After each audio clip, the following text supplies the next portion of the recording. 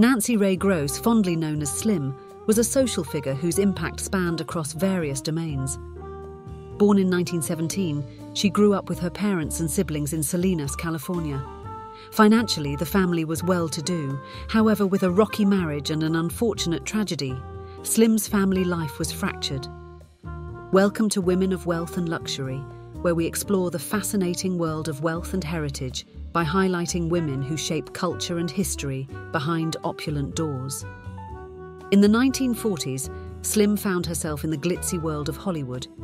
Dubbed as the original California girl, Slim's figure and charisma placed her in favor in some of Hollywood's most valuable players. It's reported that Slim was pursued by Clark Gable and Ernest Hemingway for her hand in marriage. She declined and married film director Howard Hawks.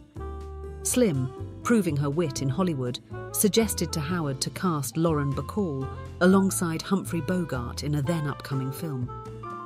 Regrettably, their marriage was strained due to Howard's infidelity, and they divorced shortly after Slim had their first child, Kitty. Although burdened with the unfortunate events of her first marriage, her elegance and magnetic personality made her a muse for some of the most celebrated editorials and designers.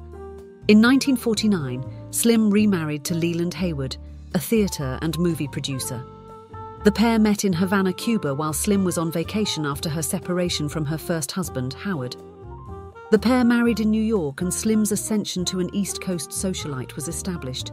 They divorced in 1960. Her final marriage was to a wealthy British banker and then chairman of Rolls Royce, Kenneth Keith, Baron of Castleacre. As her husband was knighted in 1969, she became the Lady of Castleacre. Since Kenneth was not born into nobility, their titles were granted for life in 1980. As the years passed, Slim transitioned to engaging in philanthropy and activism.